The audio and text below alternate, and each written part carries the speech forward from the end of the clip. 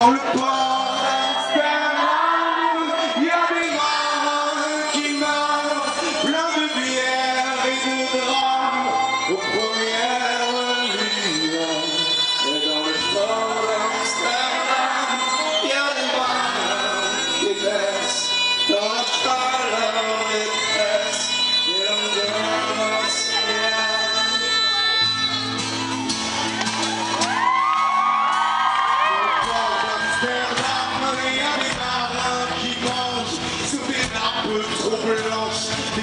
sont ruisselants, ils vous montrent des dents à croquer la force.